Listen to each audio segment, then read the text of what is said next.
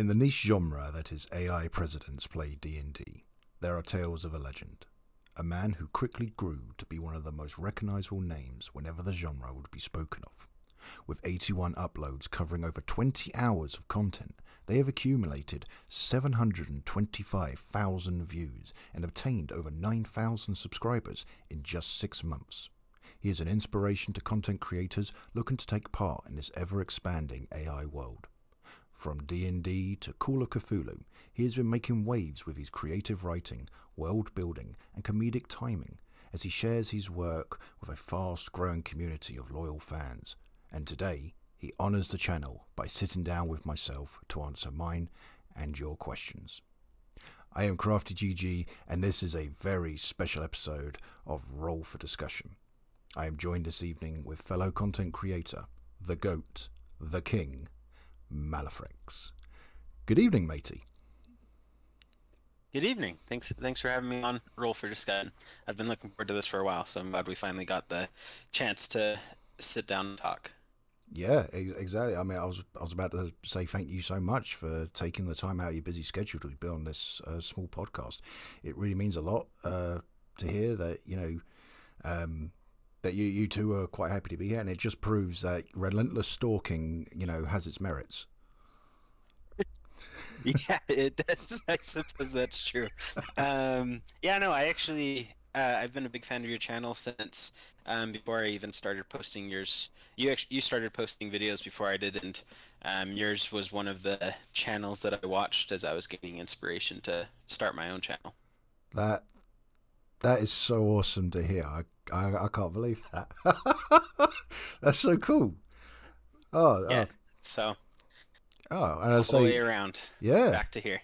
yeah, exactly. Because I mean, then yeah, I, I, was I was doing it for a little while. I was I've got I've actually compiled a list um, of all the content creators that I can find that do or have done uh, presidents play D and D, and um, I was like one of the first few, at least on YouTube. I think uh, one of them, meme D and D dice.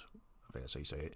I believe I think he started on TikTok before he went onto YouTube, but I've not actually looked into it to see when it was. So he might have been the very first one to do it. And then, um, and then yeah, just as as the list like grew, we just started getting, you know, more and more uh, like brilliant creators. Not everyone obviously stuck around a lot of people maybe did uh, one or two, some maybe a few more than that. But there's only a small handful of us that have actually kept it going, you know. And it's just it's so great to see those that have like kept it going, like just where their like content has gotten to. And uh, yeah, and I saw yours like coming through I started listening to it and I was like, "Ah, oh, this is this is this is what this is what I'm looking forward to." Just so many different people with their own versions on how they want to like show their like their stories and the rest of it. And some people have gone for, you know, they followed modules. For instance, uh, Relic, I believe he's one. He went with the Curse of Strahd, and then there's others like yourself. They've gone for more like uh, homebrew, uh, same as like a clone and AI guy. So it's it's just it's just so such a nice feeling just to just to sit back and just like see this expanse of uh, content creators, and the list just keeps growing. You know. Yeah, and I think that's one of the really cool things. Is it's like you said in the intro, it's a really uh, niche genre. Like there's only it's it's a small community of creators, but it is growing, and it's pretty cool to see everyone's different takes on presidential AI D and D. Oh yeah, hundred percent hundred percent. I'm I'm glad. I mean, there are you you'll see as obviously as everyone's like content expands, you you'll see that like there's similarities. Uh, and such like that, which is it's kind of to be expected because there's you know there's only so much you're going to be able to do when you're trying to tell a story, like with AI voices and like the president stuff. You're going to have some slightly overlapping or similar jokes. Um, you know, certain tropes that, of course, they, they come into the part of the particular presidents and stuff like that. But it, but again, everyone has like something that's slightly unique about how they do theirs, which I think gives the viewers, you know, such a nice variety to choose from. Because some people might like they might want to go for they just want to listen, you know. So there, there's plenty of there's plenty of guys who will they'll, they'll use like art and and and such, but the main focus is is it's easier for people they if they haven't got the ability to actually watch it, or you know they're driving or working or something, they can just listen to everything that goes on. And then there are others that might have a more of a visual aspect to it. So if they actually want to see like what goes on in the game and stuff. So it's really nice, and I'm I'm quite excited as as time goes on to see what if you know when we get if there's going to be more content creators that come out of the woodwork and see what, how they try to show their versions of. Yeah, yeah, I, I definitely agree wholeheartedly with all of that. Yeah, yeah, I think those are some good points. So um, now we got the uh, uh, the initial bit out of the way. I have compiled a list of questions. Uh, I'm gonna I'm gonna throw at you, and then once we've gone through uh, what I've supplied, I have gone and asked the community uh, if they had any questions they wanted to ask you as well, and we've got these from. Uh, put a post on my YouTube channel. We got uh, loads of responses on that one. Uh, I got some response from on your Discord group, um, and I got a few on my own. So we'll start off with with my ones. And uh, yeah, that sounds great. Yeah, fantastic. And so the first one I have is so what is it that got you started that that wanted you to make this type of content and this and this sort of channel? Yeah, so like a lot of people who um, play Dungeons and Dragons, I was in a group who uh, let's just we weren't able to meet on a consistent schedule.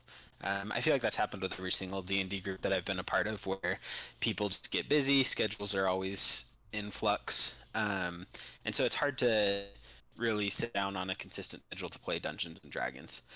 Um, and I was the dungeon master for this group, and I had this whole overarching storyline, which is what I made my channel off of. Um, and then I started seeing some presidential AI content, and I thought, hey, you know what? I could make some videos for my players, and then maybe that will get people like hyped. They're like, they think that it's pretty funny and cool, and then we'll be able to start meeting more often. Um, and then I posted them to YouTube, and um, I did a bit of research on different channels as I was starting to write my own scripts, like yours and clones and reliquies were the main three that I found.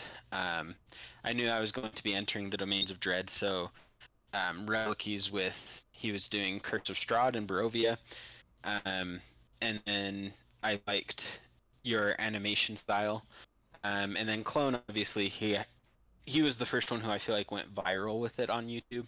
Oh yeah. Um, and so I caught on to his were the first ones that I saw of it, and then as I looked into more, I started finding other creators. Um, but yeah, so it started off as just a passion project for my players, um, and then I posted them to YouTube, and then it, it grew from there. That's fantastic. That's that's such a nice way of uh, of like how to go about it. It's just to sort of keep that interest going, like for your for your friends. You know, get them get them more motivated for it. I mean, it's, it's, it's a nice way of looking at it. And uh, with the the kind of answers what my next question was going to be is like how, about you playing D and D in in real life. Were you are you the forever uh, DM or did you get a chance to be a player yourself? Yeah, for the most part, I'm the forever DM. Um, I am part of a D&D group right now um, that started over on my Discord channel, but it um, I, I my schedule's been really busy and I've been pretty flaky on them. Um, so I'm a player in that campaign, um, but most nine, about ninety nine percent of the time I'm the dungeon master. Yeah, yeah, I I, I, I, share that as well. I've been DMing a, a homebrew campaign. It's my it was actually my first uh, campaign. Been going on for a little over a year now, and it's it's only been really the last like couple of months where I've had to like reschedule like meeting up uh, with the group. Uh, we were we were quite consistent for a very long time. It was like every other Friday for for several months, and it's just uh, things. It's like you said, you know, things get a little bit harder with the with the schedule, and not everyone can be available. So you got to try and make time like whenever you can. But I, I I try to look at it as like well, like when you get those moments when you do get everyone together, then you got to pull out all the stops, you know, and like really like give it your all, just so like you can get that like really good experience, and everyone can walk away like, thinking, you know what, that was a great that was a great session we just had. Definitely agreed. Yeah. So um, when you uh, when you are a player, what's your favorite type of build? Yeah, so I usually, um, so I've been a player in a couple of one shots on occasion, um, and I've always been a Leonin Blood Hunter. Oh, Um, yeah, so Leonin, I believe they printed it in one of the plane shift supplemental materials. Um, it might be in one of the new Magic the Gathering books as well. Um, but so it's just a, a lion-based race, Hmm. and then Blood Hunters is Matthew Mercer's custom class. yep. Um, and so yeah, I've always that's just that's been my go-to classes. I'm a, a Leonin Blood Hunter. Nice. Um, yeah. So hopefully he might make an appearance in a future D and D video. That would be pretty cool. I've uh, I, I would do the I would do the same thing if I had the um, if my uh, group if we ever decide to actually put something together uh, like on the channel. I mean, we we've got some ideas that we're we're sort of putting together, but again, I would end up being the, the DM for it. But if I had a chance, for me, I'd say uh, my my first ever one of a build is has always been my favourite. A, a, a hill dwarf barbarian just a, a particularly grumpy, a grumpy fella. Yeah, that's a that's a good combo. so, um, when uh, when you are making these videos, so you did touch upon it a little bit about you looked into other channels uh, to sort of get inspiration. Uh, is there anything else that you look into to get inspiration? Um, yeah, so hmm. I, I, so D- Dungeons and Dragons has been a big part of my life for um, probably the last eight years or so. Oh, um, oh, wow. And in that time, I I found 90% of the time I'm just using homebrew content. Um, and I, have been writing in general since um, like middle school. Um, and so I feel like for inspiration, it's just kind of um, you have high fantasy, things like Lord of the Rings are definitely an inspiration. Um, and then different books. Um, I was a big fan of Name of the Wind and I can't think of the second one now. Hmm. Um, Patrick Rothfuss's books, um, and I, I would say that pretty much most of the content that I um, ingest is fantasy-based content, and so I just kind of draw inspiration from wherever I can from those. That's fantastic. Right, excellent. Um, so where go go to the the videos themselves. Where if you if you could give us a sort of like a rundown from concept to upload, what's the the sort of process that you go through when you make a video? Um, so let me think. We can start off with, um, I think Call of Cthulhu would be a good one for me to show my process on, where it started off as um, somebody had left a comment on one of my videos saying, "Hey, you should do the Call of Cthulhu system. That'd be pretty cool to see." Um, and that was kind of in the back of my mind for a while, but I was pretty invested in the Dungeons and Dragons campaign um, until I hit a bit of writer's block with that. So then I started looking more into Call of Cthulhu. Um, I found another cool series on YouTube. Um, it was a Call of Cthulhu playthrough, um, and I really fell in love with the system. I think it's honestly it might even be my favorite system above even Dungeons and Dragons now. Um, and so I started thinking about how I could make a presidential AI video based off of that. Um, I knew I wanted to do something homebrew, but I wanted to pull inspiration from established modules since um, they lay a lot of the groundwork for it. So I came up with um, my town, Dunsmith, and then um, the cult, which was Children of the Void, and an enemy, which um, I was a big fan of the board game Mansions of Madness, and they're called Deep Ones. It's kind of like frog type creatures. Um, and so I knew that I had a couple of those components, and then I just started playing through as if it was an actual Call of Cthulhu campaign. Um, thinking from the perspective of each of my characters, the presidents, and like what they would do if they were put into the different situations and circumstances.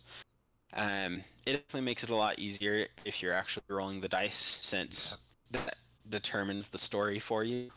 I'm sure you're familiar with that experience as well. You don't you don't have to make all the decisions because the dice are there. Exactly. Yeah. yep. And then um, I used yeah Midjourney to help me generate all of the art. Um, going through scene by scene, thinking what's key things about this scene that I could try to um, get a background for, um, and then just kind of put it all together and throw it out there. Yeah. Um, once inspiration hits, I feel like it, it I, I, can write pretty fast once the inspiration hits.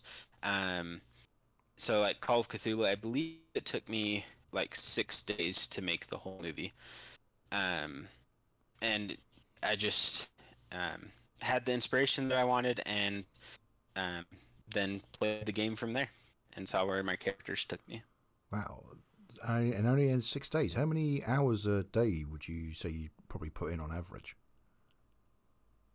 Um, for Call of Cthulhu, it was probably somewhere from uh, probably about four hours a day. Um, so I work from eight to five.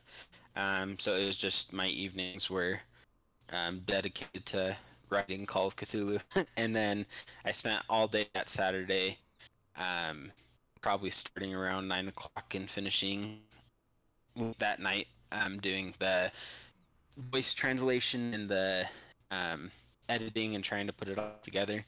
Um, and I don't think I think I waited a week to post it on the following Sunday, but it's it's almost like because there's there's a lot of um, I'm, I'm hearing a lot of like uh, similarities there, like how much time to put in to make uh, the video. It's it, it can almost it's almost like having a, a, second job at times, isn't it? Like with just the number, oh, yeah. the amount of hours that you end up having to, to put into it. The the upside is though. Uh, is, is as long as you've got a passion for it, it, it never feels like you're working. You know what I mean? Right. Exactly. Yep. Yep. Yeah. And yeah, watching your videos, yeah, just your animation skills are definitely leaps and bounds ahead of mine and yeah, I just it's very impressive that you're able to do the level of animations that you're able to do.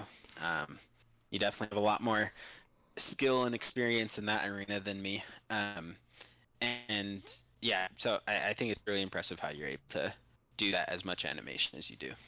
Thank you. It's it's, it's very kind of you to say so. Uh, the the the first campaign obviously was uh, very heavy on the animation. It's why the videos were as short as they were because just making a, a four minute video, uh, I'd be doing probably about four to five hours a day for a, a solid week just to yep. just to get them. And a lot of it I found over time it was it was more just trial and error that was taken up. It was I never really uh, secured down like a, a proper process on how to put them together. So I had so much like obviously you you would have to you have to build everything in layers and you go you go try to get it all syncing up correctly and all the rest of it.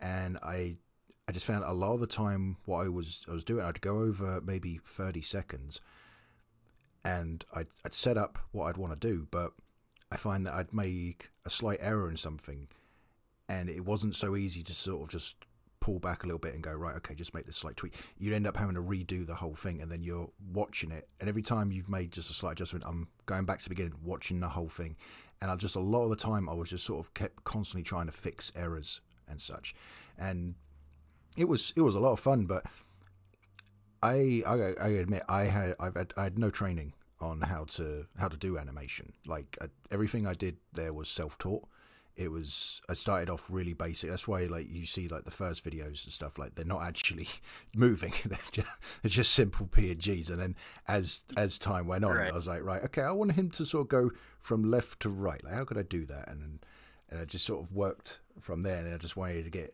started getting crazier and started doing more stuff. But each time I wanted to make more of it, it if just by making an extra 30 seconds of animation you, are looking at another two three days of like editing. Yeah. And, I, obviously, as as time goes on, I, I, was getting better, but I I found it, it was because it was so consuming just doing the animation. I kind of felt like I, I, was dropping the ball on things like the the the storytelling, the actual playing the D and D and stuff like that. So as much as I, I I loved my all the work that I had done for it, it, it didn't feel like it was like it, it didn't feel like it, it was the best that it could be, and so I decided um I will have there's one more video I am going to do just to wrap it up. Uh, it'll probably be quite a long one, but it is going to take uh, a long time to do. But that's why I thought, right, well, I want to I want to do a, a proper campaign, and a little bit of animation will be fine, but I, I, wanted to tone that back a little bit, just so that I could actually focus on making it a D and D story I'd actually be quite, you know, pleased with. So there's this, this way right. you wouldn't see you won't see as much animation in this one. There's like some effects and stuff, but other than that, I've toned. I'm, I'm keeping it deliberately toned down so that I can at least flesh out the the rest of it, as it were. Yeah, yeah, I, I think that makes sense. Mm. Um, yeah, I was impressed still with your the battle map from your last episode. I think it was your last one. I oh, might yeah. have missed one. Um, the I thought one the with the dragon and yeah, the yeah. one with the dragon. Yeah, yeah, yeah. Oh yeah, just the one you posted yesterday or day before. Um, yeah, I just thought that the battle animation is impressive. I know uh, Relicy did those a lot, um, but he hasn't posted in quite a while, and I just thought that yeah, you did a great job making all the characters move in unison when and linking it up to the audio. Um, yeah, definitely just did a phenomenal job with that video. Thank you very much. Yeah, that, that so that that has all come from all the trial and error with like the first campaign. That's why I yeah, I, I, I it, the the maps were the thing that I I loved the most. So when I first saw you, you called him Relic, I, I thought it was pronounced uh, Relic. um, uh, it, it, probably is Relic. Well, I, I, don't I don't know how it's pronounced. Well, Relic. If if you're watching this by any chance, could you just clarify it for us, please? Or viewers, what how do you think it's pronounced? Is it Relic or Relicy? Post down below. Let us know. And um, but when I saw when I first saw how he had done his videos. That's I think gave me the the sort of initial like spark of inspiration. I was like, oh, I I, I just fell in love with how his setup was, and then I also was seeing AI Guy when he uh, was doing a couple of like battles, like he had done his battle map, and I loved the overlays which showed each character, and then when it went from one character to another on the right hand side, like you would show it show all their stats and stuff. And I was like, this is this this is what I really want to do. Stuff like that, you know. And uh, yeah, just it just sort of spawned from there. So I and then I, I, also had inspiration from from yourself and from Clone. That's why I always put all four of you uh, in each of my descriptions on these videos because my inspiration to not only just to like the work itself, but the it sort of helps drive me forward to make a better content. You know, I see the effort that you guys all put in.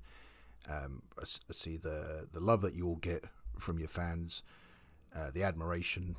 And I just think, you know what, that's it's it's it's seeing stuff like that that makes me, you know, I, push me. It's going to drive me to make that better content. So uh, to hear you, to hear you say, you know, how much you liked it all, that's it. Um, it really does mean a lot. It mean it means it's working. It means the work is paying off. Yeah, yeah, I definitely think your work is paying off yeah, I, I, think yeah, I've really liked Tyranny of Dragons campaign so far. It it's funny because it's a module that it's one of the ones that I've looked into the least, so I don't really know what's going to happen, um, which makes it feel like a nice surprise as I'm watching your videos too.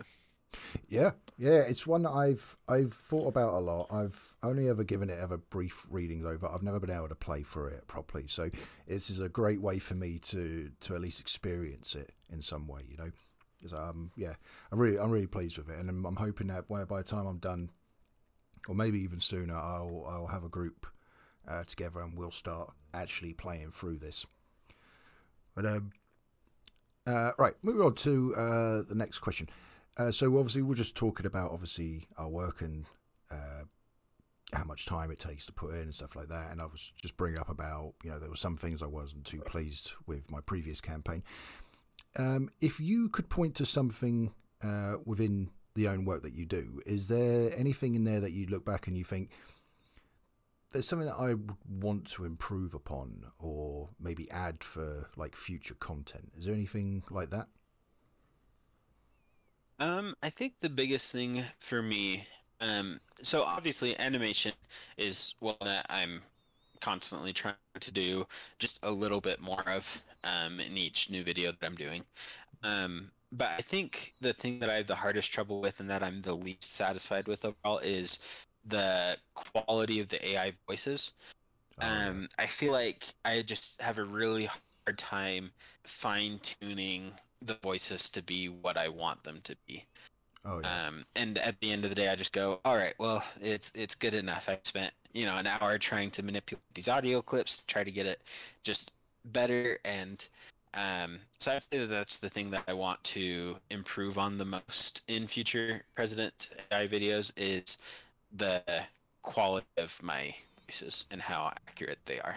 Yeah, yeah, no, I share your pain. I, I have literally sat at my desk for like an hour with with just like a handful of sentences, and I I am pulling my beard apart because just what Yep. the how they how they're saying, and I'm and I'm trying every trick I can, like trying to make sure I'm like as grammatically correct as I can be, or just change a little bit here and there, and it just and sometimes like they they might start the sentence off like really good, and then they start getting quiet, and I'm like, and by the end of it, it's like, why are they whispering?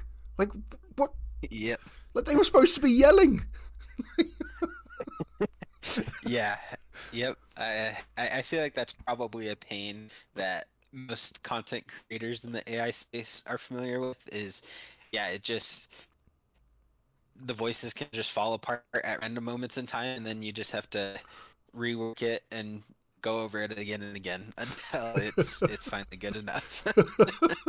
and it it doesn't make sense why it happens. I don't know all of the technology that goes. I know there's a lot of things. I use Eleven Labs. I don't know for sure which AI voice generator you use, but Eleven I know Labs. that there's a lot of talented software developers working on it and trying to make it better. But yeah, the voices just randomly fall apart at times, and there's just nothing you can do about it. Yeah, I, I also I uh, I use Eleven Labs as well, uh, and it, it's it's good. But one thing I wish I, I I'm really hoping that it'll it'll come in a future update is to get to somehow get the voices to actually laugh. You know, like oh, I did actually see. I found a post by them saying that laughter was coming later this year. Oh, excellent. Or, So I don't know if that's still on the table. I, I would have to look more into that, but um, I did see a post on their site because I was also trying to figure out laughing, and yeah, it's just laughing is a pain. You can't get them to laugh. no. the, sometimes I I found when um if I if I want them just to sound like they're exhaling or something, uh, that that I find I sometimes get some of the funniest responses. I I should re- I really should just like keep some of these samples and then just like play them as like a, a goof episode. It's like this this is what they could sound like if I just let them on their first attempt, and the noises that come out of them. It's, it's honestly, it's like they're demonically possessed or something. It is, yeah, yeah. That that would be funny if we if the AI content creators created blooper reels of what the voices sometimes generate. I would watch those. Yeah. yep. So um, we've uh, we've touched upon it a little bit. Uh, so in your in your downtime, when you if you're not like making videos, you're not uh, studying, if you're not working, uh, which other President D and D channels uh, do you watch enjoy watching in your spare time, and uh, why is it Crafty GG? well, um, I do watch Crafty GG. Um, so I do actually have a kind of a self-imposed rule. So I, I can only I only watch, and it's not right now. I'm working on non-president AI content, so it's not as big of a deal. But I only watch other creators after right after I post my own videos, Mhm. um, mainly because I don't want to. Um, accidentally steal from another like content creator. I don't know how to put that properly, but um, like I have my specific tones that I want for each of my characters, Mhm. and I don't want to slip into how another AI content creator does their characters instead. Yeah, that's un- that's completely Um, understandable. Yeah. So I have a couple. I have probably like a two day gap after I post a video where I'll go and just kind of binge watch a lot of the other creators. Um, mainly it's yours. I, I'm really far behind on um, clones. Hmm. I don't actually know where I'm at on clones. Um, and the AI guy. I'm a fan of the AI guy as well. Oh yeah, I as I say, I really, I really like where his story's going at the moment. Uh, if anyone's watching below that hasn't hasn't caught up, won't give any spoilers. Just let's just say it's he he has a knack for cliffhangers. That man. hmm Yep. um, and then President Ashton Hart is Oh, yeah. a pretty good one. He has the female politicians play D and D, um, and Coco Mimi, who is pretty new. Um, her stuff, I, I'm or their stuff. I'm I'm a bit behind on their stuff as well. Um, I think I finished the first two episodes, but um, yeah. So pretty much, I watched most. I would say most of the other AI D&D content creators. Um, Have you seen um, Most- Crafty GG. have, uh, you seen? Uh, he's already been doing a lot of uh, AI president stuff, but he's quite recently gone into D and D. I think it's I think the channel's AI President's Chat, and he's the one who does Pokemon D and D. Um, I have not watched this. Nope. Uh, He's I will have to add him to my list. Aye, he's uh he's done he's done two so far, and yeah, really nice, Gotcha. great style. It's all like pixelated and stuff, and yeah, it's just really nicely done. Uh, yeah, I highly recommend giving it a try. But uh, you, you touched upon Coco Mini. Mimi, that was actually going to be part of my next question. So you have directly inspired them to make President D&D. I believe they even they credit you in their opening video and I've I've seen people in like comment sections and stuff who have said you know, and even when the post I put up uh, the other day, you know, there were people there saying, no, it's because of yourself that you know that's got them into D and D and play. And when when you know stuff, when you when you know about stuff like that, how does how does that make you feel knowing that you're their source of inspiration? Yeah, so that's definitely a really good feeling. Um, like I said, Dungeons and Dragons has been a big part of my life for the past um, eight eight or so years, um, and I just think that it presents a great opportunity for people to connect with other people, um, especially people who might not be the most social. Um, outside of Dungeons and Dragons can really come to life in Dungeons and Dragons.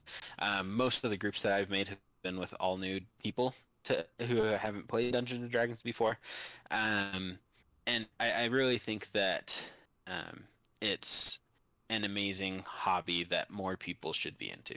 Oh, 100 percent. Um, and so to know that I'm inspiring people to play Dungeons and Dragons is really really cool, for sure. Oh yeah, I, I, I when I, I saw Coco's um, when I saw the first episode and they straight away you know they're giving you a shout out for their source pressure. I just thought you know that's that that there is beautiful. That to know that, especially again also when we when you know yourself and me we, we know how much sort of work it is to to put these sort of videos together, and they you've done enough for for for that person to turn around and go, you know what, I'm going to give that a try as well, and they're they're becoming very successful very quickly, and it's just especially I believe they even mentioned that they don't have a whole lot of D and D experience itself, so again it's even more impressive, you know, and I think that's that's one of the things I I love the most. I think when it comes to all this, is, you know, the whole the, the the whole thing was a meme to begin with. Uh, Right, I, I, yep. I, I had a friend of mine who was a bit skeptical when I first told him that, oh, this is what I'm going to start like making on the channel. And he's like, well, it's just a meme. It's going to die off in a couple of weeks. I was like, possibly, but the fact that it's based around D and D, if you're try to be, if you try to be, um, what's the word? Uh, if you try to be respectful of the source material and you try to actually play an actual game, I said, yeah, you know, the meme's got to maybe bring in that initial atten- uh, attention, but over time you should then build up a core audience that are enjoying it, not just for the fact that it's you know it's comical that these these full grown, very old men are playing Dungeons and Dragons, but it's the fact that it is Dungeons and Dragons, you know, and you you're more likely to get more fans of D and D. And uh, I'm so pleased to, you know, six months on that it's all still going strong, you know. Yeah, yeah, it's definitely pretty incredible. I think that is um, one of the coolest things about all the AI stuff is it's presented the opportunity for um, people to uh, share Dungeons and Dragons stories in a format where it has a lot more exposure, Yeah. um, which I think is really cool. Yeah, I, it's, I, it's, it's just brilliant. Honestly, I, I talk for days of just my admiration of how how much this has sort of spread the joy of D and D. Agree. Yep. So um, yeah, it's yep. so let's say uh, someone might be listening uh, right now that wanted to start a channel just like Coco did. Um, what advice would you give them if let's say that they they didn't know where to even begin on this sort of thing? Like, what, how would, what? Yeah, I'm going. My words are going all over the place. What advice would you give them? Yeah, I, I think one of the things that can help most for creating a D&D channel like ones that we've made is honestly just playing Dungeons and Dragons with your friends or even just with people. I know the the Discord community for the Dungeons and Dragons group is really big and has a lot of opportunities for people to hop into campaigns. Um, and I think just as you start to play Dungeons and Dragons, um, especially if you're a dungeon master, but also if you're a player, then your mind can just kind of wander to what if or how would Obama react in this situation, or how could um, Ben Shapiro? I don't know why Ben Shapiro's in so many of them. Um, he is, but um, yeah, so he kind of gets lumped in there too. Um, so you just start thinking, how can these people, how would these people react if they're put and playing in this type of situation? Um, and I think it all just kind of starts with playing Dungeons and Dragons and seeing how the gameplay works. Yeah, it's pretty solid. I uh, to talk on what you say there about with Ben Shapiro. Ben Shapiro, I, I think it's it's just how iconic his voice is. You know, you Yeah, yeah, that, that's probably it. Yep. he's and he just he he has just has this serious look on his face all the time, and then this like tiny squeaky voice like comes out, and he talks about you know hundred miles a second. Just and even people who don't really know much about him, like in America, especially if you've got any kind of concept on, on political, on anything political, more than likely you've heard his name or you've heard his voice, you know, or you've seen a clip where he's been brought up in some way or another, and it's just, I don't know, he just, yeah, it's it's really weird. Of of all the things like with President's Play, just Ben Shapiro, like what. Yeah, he just he just fits. Yeah, he fits very well into the group yeah. because and he's just very iconic. So, Uh, yep.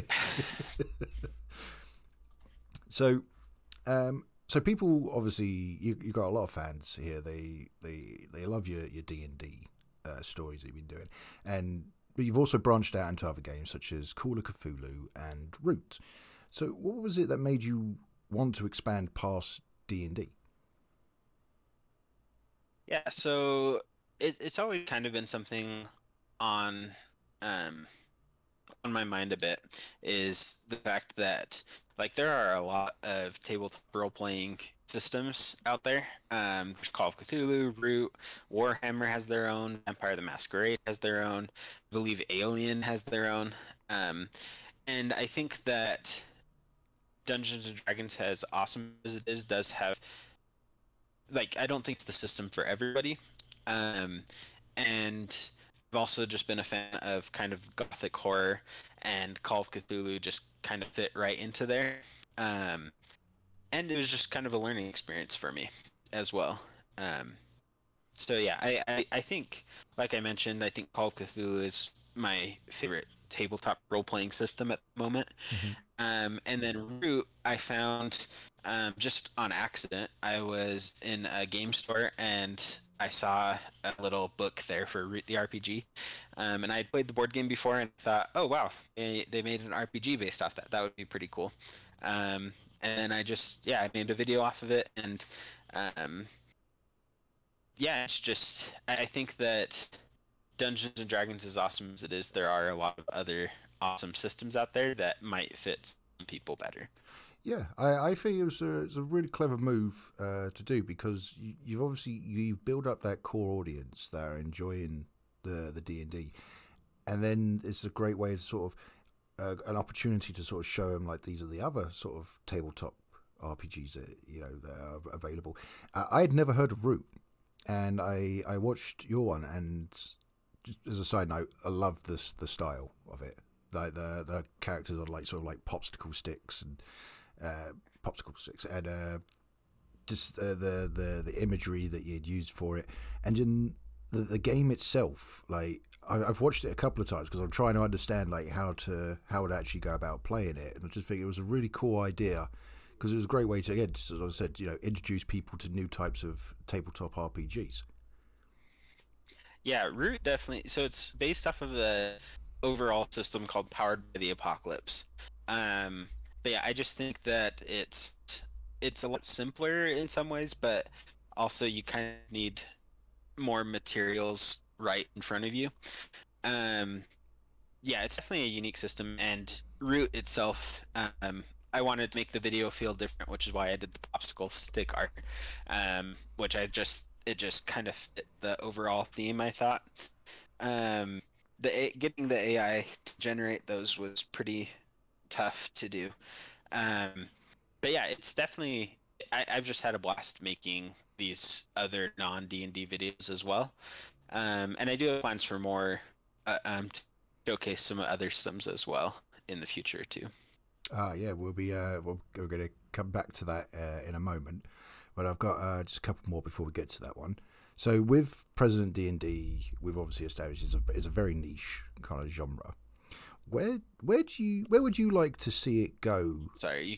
Oh, sorry. I did I break up a bit there? Yeah, it sounds like you're better now. All right, let me try that again. So we've already established that President D and D is a very niche genre. Where would you like to see it go? What sort of direction would you like to see it go in the in the near future?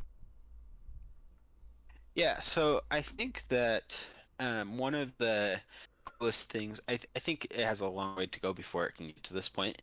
Um, but I would love to see like uh, I, I don't know how realistic it is again. I'd love to see like an actual truly um, like Legend of Vox Machina style of presidents play D and I think that that would be hilarious. I think I, I, I don't I, I, think you'd have to have money and the proper um, team behind doing something like that. Oh yeah. Um, but I do think that that would just be awesome. Um, I don't think AI movies are anywhere near the point where they'll be able to do something like that anytime soon. Um, but I think that it would just be awesome to see like a fully animated President's Play D and D. Oh video. yeah, yeah. You definitely would want to know. You need a full team of animators to, to, to pull that off. I mean, I can't. I I've just I've wanted something really basic at the moment with with AAR. It's just so like say for instance, I just get like uh, Trump's character um, as in my one as uh, as the Goliath barbarian. I'd like to be able to get the AAR to show me uh, front and the back, so that if there's like scenes where he's got his back facing, it would be you look at it, it's still the same like artwork, and like again like side views as well, just so that I could I could put the characters in sort of different angles and stuff, and it just be it work better like for like future ideas. It's one of the biggest problems I had with the first campaign, and I had to. The only way I could sort of fix that was by um, uh, like making them like silhouettes to give the impression like this is the back of them, sort of thing. But to, yeah, yeah. But to go like full animation, that would be that would be uh, yeah, that would be that would be amazing. Or if you get them, I, I know you can do this with. Uh, I don't I don't know how it gets done, but I've seen uh, someone gets it where they got the image and they can actually get the mouths to move and they and they talk. The the motion in the face is always the, sort of the same. It's sort of like they're looking forward and their head kind of tilts and they head tilts to the side. It's a lot of those Balenciaga videos uh, were doing a lot of that. Do you you know the ones I'm talking about? Uh, yeah, I do. Yeah, I believe. Yeah, there are software where you can plug in speech and it animates like a face. Hmm. Um, and I, I do think that that's a, a step in the right direction for sure. Oh yeah. Um, so yeah, I think that just seeing more progress along those fronts will be really cool to see in the in the future. Uh, well, with the progress of AI, in uh, obviously in some circles, AI is considered uh, could be considered quite controversial. I mean, talked about with the D and D communities. I've I'm in several on like Facebook and such, and I've seen that when someone posts uh, an image and they're like, "Oh yeah, I got this from um, uh, what's the AI art generator you use?" I use Midjourney. Yeah, sorry, Midjourney or Imagine or something or another. The the the amount of hatred that comes from people about it, like saying, "Oh, you're stealing work from artists." and stuff. And then there was the the whole actors strike thing that had been going on because you're saying you know, AI is taking away jobs and that sort of thing. Um, what were your thoughts on this whole thing with AI as a whole? Because I mean, we well, obviously we use it to, to make comedy like D and D uh, stuff. You know, it, anyone's listened to it knows that okay, that's not really Trump. You know, so it's not like it's worried about what he's going to say. But just like just yeah, in, in some circles, it just it seems to just generate a lot of like ill feeling. Yeah, I, I definitely think that there's a lot of um, moral ambiguity with AI art. I, well, I feel like I see it most with AI art, mm-hmm. just in general, the whole AI space. Um, I, I think that it's I, I don't think it's quite a black and white issue. Um, yeah. I think one of the most amazing things about AI is that it's put the power to create things like what we're creating into the hands of people who don't have funding to go out and get a team of people to do all of these different things, right? Oh yeah. Um, like if it wasn't for Midjourney being able to generate a character for um, Donald Trump as a barbarian or whatever, then uh, I wouldn't have been able to make like any of my videos, right? Yeah. Um, and I don't think that I ever would have had the upfront funding to go out and hire an artist and be like, all right, so here's my vision. Um, and then to go out and hire voice actors and be like, all right, so I want you to pretend to be this person. Yeah. Um, like we we don't have the funding or uh, availability of people like Critical Role, um, but I think that AI has handed those tools to people who don't have access to those, which I think is awesome. Yeah. Um, on the downside of go on, carry on. Yep. On on the downside of things, I, I think that um, it is taking away jobs from artists, and um, it was a big sticking point in the writers and actors strike was artificial intelligence, and I think that there is definitely um, things that need to be figured out with in regards to the legality of certain things, um, like whether it's um, AI art generators need to pay artists in order to use their art to train the models. Um, but the downside to that is that it does pass off those costs to people who want to use that software, um, which makes it so that less people can get into it. So I, I, think that it's just a really tricky subject. Um, and a tricky ethical and moral dilemma. Um, I, I don't think that true AI um, replacing these industries is something that will happen in the near future. Like I don't think AI movies, the ones that I've seen, I think that they still have a long, long ways to go before they can replace anything that Hollywood does, type thing. Um, so, yeah, I, I, don't really know. I think I kind of go back and forth on it. Yeah. What What about you? What are your thoughts on AI as a whole? So I I think it's it, it's kind of like with it's like with anything new that comes in when if it makes such a big impact like the initial the initial one there's a lot of there's a lot of fear you know it's kind of like when uh, uh, so over in England when we had uh, miners being like shut down. Uh, people talking about you know you're losing their jobs and stuff, but then more job opportunities become available over time. It might not have been the best example, uh, but my point is is that when something comes in and has such a such an impact that it's going to create change. I think yes, there are there are going to be positions that are going to not be available, but then as things adapt, new positions and new opportunities also become available and it, it you have this sort of period of time where there's got to be a lot of trial and error to try to get to the point. Kind of like what you were saying with um, you know, they might have to start paying like the artists, uh, which, which I, to be honest, I think is, is a fair is a fair shout. If they're using art from an artist, I think uh, at the very least there should be credit. If not, then there should be some sort of payment for it. That artist is the one who's obviously done the work for. Uh, so I, I, think I think we'll get to a point where there can be a fair balance. It's just it's one of those things where it's just going to take it's going to take a bit of time before we get there. Yeah, yeah, hmm. I definitely agree. So you mentioned uh, about new projects. that you've actually recently uh, announced uh, a new project that you're working on. What can you tell us about it? Obviously, I know you, you probably don't want to give away spoilers or anything. Don't want to don't want to ruin it. Don't want to ruin anything yet. So, but what what could you tell us about it, if anything? Yeah. So this new project that I'm working on, um, it's so I, I think that there is a large area of potential for AI entertainment that's um, not in the president's space. So this new project doesn't involve the presidents at all. Um, and I don't think that it will do quite as well on YouTube for the algorithm stuff. But it's been a lot of fun to make. Um, so it's a mockumentary style project focusing on members of a cult in um, Las Vegas, Nevada.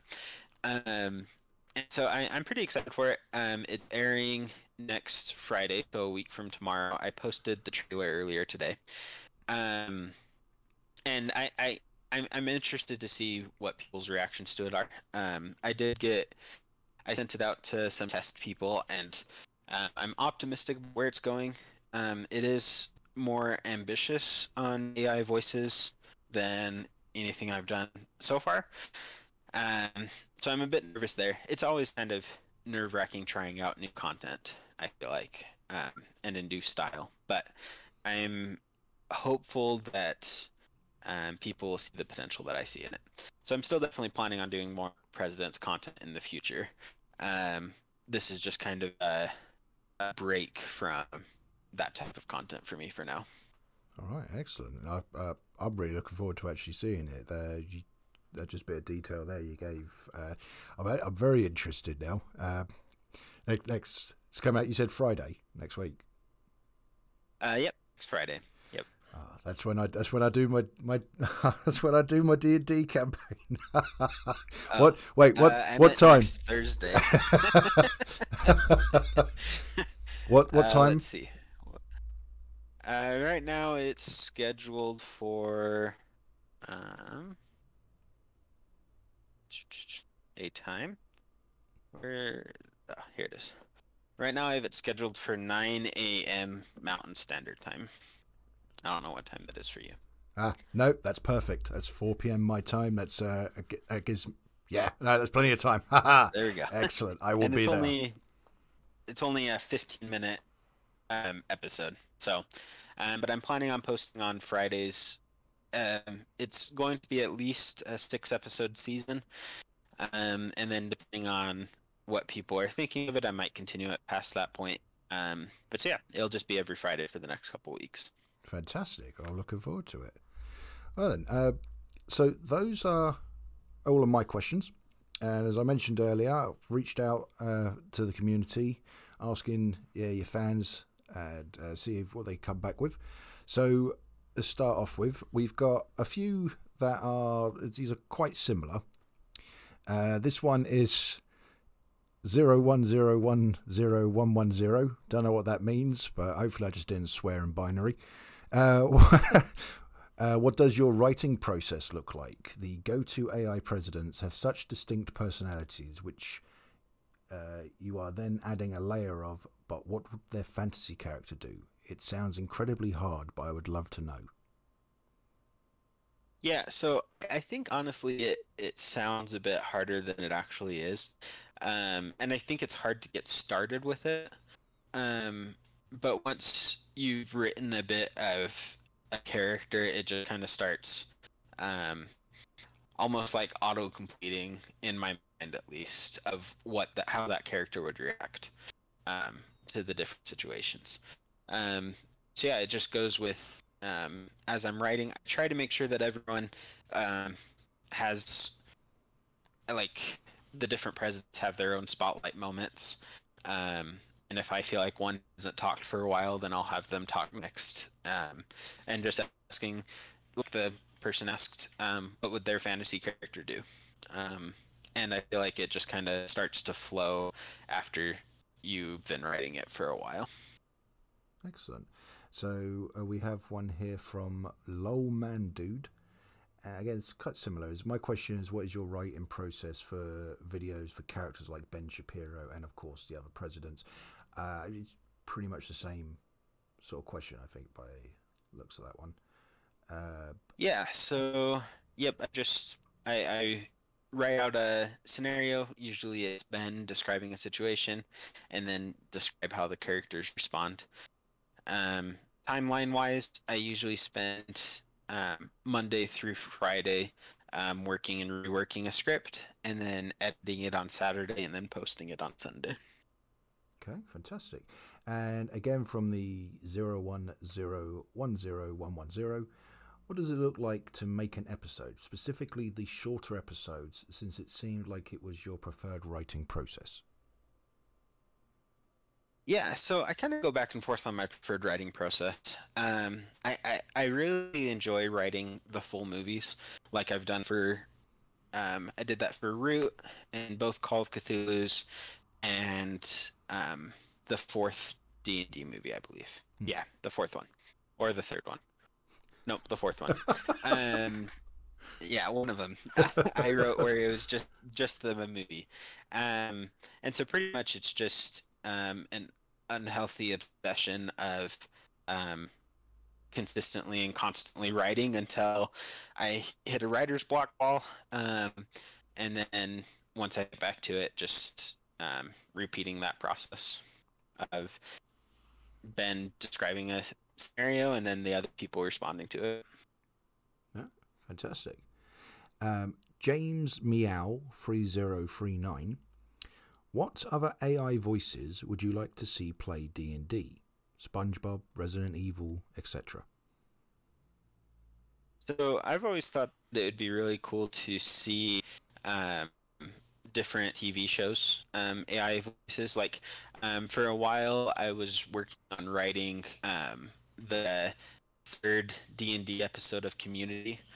Um, is going to be my spinoff, where it was the cast of Community playing Dungeons and Dragons again. Um, that one, it's tough to write. Obviously, I, I think that the people who wrote the episodes are a lot, lot more skilled than I am at writing those types of things.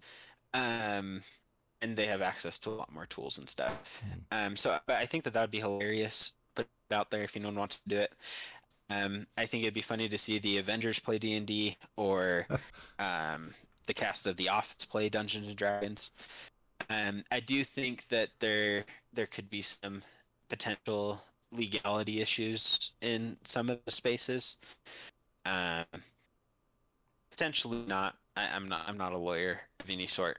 Um, but that was one of the things that stopped me from doing the Avengers playing D and D was worried about legality issues. Um, I do think that those things would be hilarious and would be a funny extension of the AI president space. Yeah. I tell you, there's one thing I've quite enjoyed about the AI guy is that he has gone through a bit of a range of uh, different of different voices, like over the over the space of the campaign. And it's quite nice just to see the the different variations, you know. Definitely. Yep. Uh, Kirby Theo Taku seven three seven. When will the new President D and D movie be released? Yeah, so I'm hoping sometime soon. Um, I've found really with my writing process that I have an near impossible time writing on something when I'm not feeling the inspiration to be writing on that. Um, so that's the reason why I'm doing this mockumentary series next is because that's where I got some inspiration to be writing. Um, I, I am definitely still planning on going back and finishing both the D and D campaign and the Call of Cthulhu movie series. Um, I'm yeah. just not quite sure on a timeline for when that's going to be. Oh, fair enough. I mean, that answers um, uh, Observer Orb server.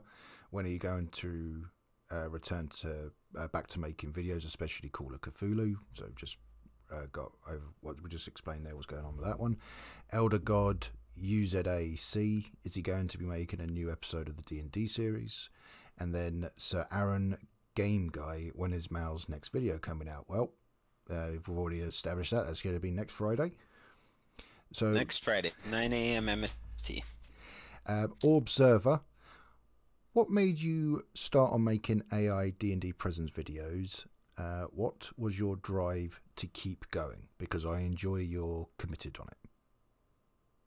Yeah, so um, like I mentioned a bit earlier, it started out as um, just kind of a passion project where I was remaking my currently running Dungeons and Dragons campaign um, with AI presidents, um, and then it just kind of spiraled past that. Um, the channel grew a lot more than I was expecting it to, and so I just I, I kept making content for it. Um, I think one of my biggest drives is that it was helping people discover Dungeons and Dragons, um, which I just think is a really cool thing about these types of videos. Oh yeah, hundred percent. Uh, Drill Lablo, question for both of you: Do you watch movies, TV shows, and read books to get inspiration, or does something pop in your head that sounds cool and you roll with it? No pun intended. Well, do you want to answer the one first? It's for both of us. Uh, it is for both of us, but yeah, sure, I'll give it a give it a go. Um, so for me, uh, I, I grew up um, playing RPGs, not the tabletop ones. That I've only I only got into that about a year or so ago. It was uh, I grew up on Final Fantasy, uh, Pokemon, just a lot of turn-based RPG uh, uh, video games, and I, I, watched a lot of fantasy movies growing up. Uh, Madflex mentioned Lord of the Rings. You know, I absolutely love that. Uh, and it's just, I also watch. I love I love comedy, so I love uh, watching all all different uh, types. American comedy, I've, I've, i thoroughly enjoy. I grew up obviously on on British comedy, which is it could be a very different kind of style. And then uh, over the last couple of years. I don't know how much this might insult uh, people, but I found some of the best comedy was listening to uh, president politics. That is sometimes I found that has been comedy gold to listen to these guys uh, arguing. yep. so I honestly, if I have offended any viewers, I do apologise. I don't intend to. Trust me, your your politics is so much more entertaining than British politics. It is a dull fest over here. There's no yeah, passion. It's, it's, not always in a good way on our side. it is always entertaining. the, yeah, so when when I first started like putting the the videos together, I just kept going back. Like I was going back to like certain clips, I was like, "Oh, what's that thing he said?" And I like, I, look it up and be like, "Yes, like that's good. I like that. That's funny." yep. but uh, what about yourself? Yeah, so I, I think it, it's kind of a combination of all of them. Um, sometimes it'll just pop in my head, or like I just found that root book and I thought that would be cool. Um, for this current one, um, I've been watching through The Office again. Um, just while I'm working on a school project, I'll usually have it playing in the background. Mm. Um, and so that was one of my main inspirations for this one. Um, or let me think. I watched some of the like classic horror movies, and so that inspired some of my um, upcoming content as well. Uh, but sometimes it'll just kind of pop in my head. Um, my D and D campaign is one that um, just kind of popped in my head as I was um, reading about some stuff, and then I just kind of rolled with it ever since. Yeah, that's pretty good. I didn't actually actually answer him about that about the pop in the head. So when I actually look at putting an episode together, I, I, I say for instance I've I've uploaded the the latest one the for the next day or two, I won't actually do anything on the computer. I'll just think about what happened in the episode and sort of try to imagine a bit like what what Mel's been saying is that uh, sort of just sort of imagine how would the characters sort of react now to what's happened and then just sort of build it from there. And a, a lot of times there is it is just sort of ideas sort of pop in the head, and I'll play around with it. I do find that my scripts do change quite a lot from what they originally are because I, I, I get the idea, I start writing it out, I start playing the voices, and then afterwards I'm sort of like, yep, equivalent of like scrunching up a piece of paper and throwing it in the bin. It's like, nope, let's redo that. so sometimes the ideas stick, and other times I just sort of think like, "Oh my god, what am I? What am I even thinking? Why did I even think that was good? Get rid of it." yep, definitely gone through that before. um, yeah, I've I've had to throw away yeah full episodes because um, I didn't like where the episode after that one went, mm. so I had to toss out both of them and start from scratch. uh, N- Newlonistic, Newlonistic. What was your experience like during the Maui fi- uh, wildfires? Yeah, so while we were in Maui, we got there just a couple days before all the fires broke out, um, and we were lucky enough we were staying in a part that wasn't um, directly affected by fires, um, but definitely just really heartbreaking for all of the people there. Um, people just lost everything, um, and then we're just kind of standing there as as tourists. Um, so we kind of just tried to stay out of the way. We stayed in our hotel room most of the time while everything was going down, um, and making sure that, um, like, we kept checking the emergency broadcast stuff to make sure that we weren't uh, in a danger or anything like that. Um, and then we flew out a couple days after that. So definitely just heartbreaking for the people in Maui for sure. Yeah, I, I honestly I, I could I couldn't even imagine what what it must be like for, for some of these people that have gone through these these disasters. Like we've quite recently, there's been quite a lot of earthquakes and such like that, and you just think, you know, sorry, kind of cut out on my side. I was just saying about uh, recently, you know, there's been uh, earthquakes going on in other countries, uh, just like just what the local people have had to part with. You know, we, when the the Maui fires were going on, over here they're doing all these reports and they they all they kept showing were videos of all these people that were stuck like trying to get back home on the plane. And you sit there and you think okay yeah they've got a small inconvenience. At least they're still going they're going to be going back to a home you know? You got these poor other people that like you said they've literally just lost everything. It's like you gotta put it in yeah. a little bit of perspective. Yeah for sure. And yeah it is one of those things that like um not a great look on my side, but like if I heard about that happening somewhere, I wouldn't like I, would be like, oh, that's really sad. But um, just kind of being there with the people that was happening was just a pretty um, surreal experience and really showing how much people there lost during that. Yeah. Um, so it was definitely a, a very um, so som- a, a much different experience. experience. Yeah. Yeah, a very somber experience. Yep. Uh, right. Uh, KMIF YD3QQ. What kind of equipment does he use and how does he make the AI sound so real? Well, I, am glad that um, he thinks that I make it sound real.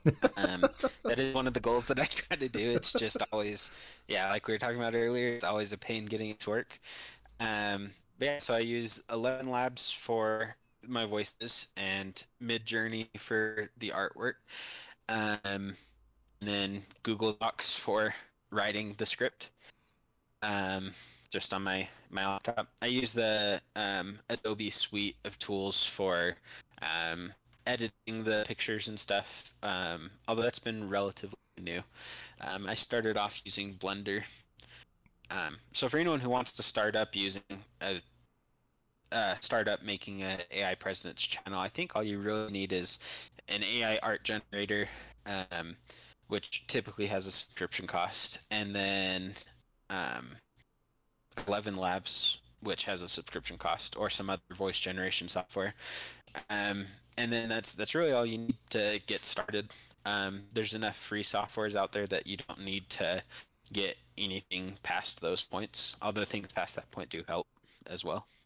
Oh yeah, definitely. I will say with uh, Eleven Labs, um, if you're looking at just at not spending any money on it, just bear in mind that the number of characters you can use is is a lot smaller.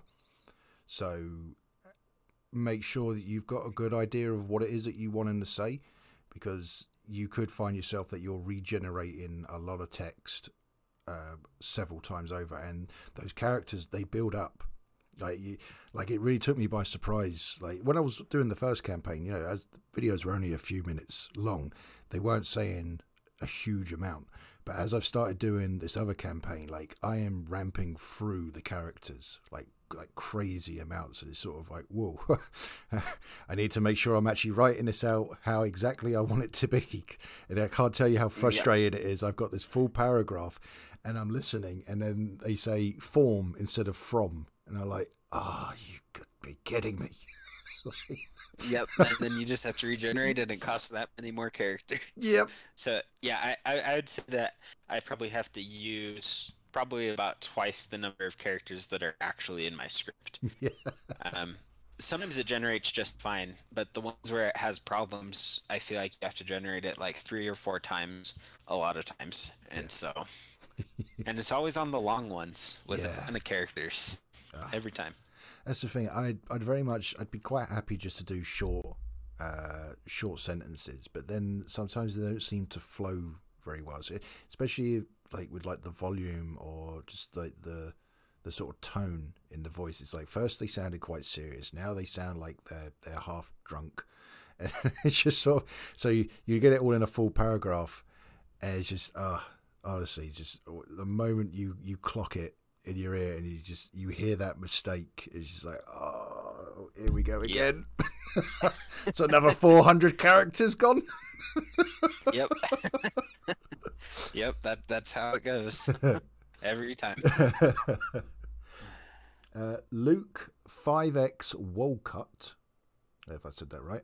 Uh, which president has the best jokes on the others, and which one would be your favourite joke they have said so far? Um, let me think. Well, I, I think the the longest ongoing joke for the channel is that um, Joe can't remember um, Thorn's name.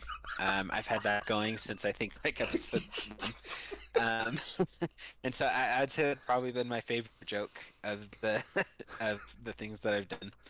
Um, I, I, think Joe is the one who's made fun of the most by far, um, and probably Obama is made fun of the least. Um, I, I think at the end of the day, I think Trump is my favorite to write just because he's pretty volatile and you can make him do whatever you want and it, it still feels pretty accurate. so Oh yeah. Yep. I, I, say yeah, the Ford joke. I've I've recently restarted watching uh, your, your campaign. Uh, well, listening uh, when I drive to and from work, I've been listening to it, and just right from the start he's just like, I don't remember this fawn fella. I'm sure it was something like like Theo or Peter. yeah. Yeah, and it, it sounded yeah, it just it started off as just kind of an offhanded joke and then it just it's it's been in most of my D&D episodes since then. So Oh dear.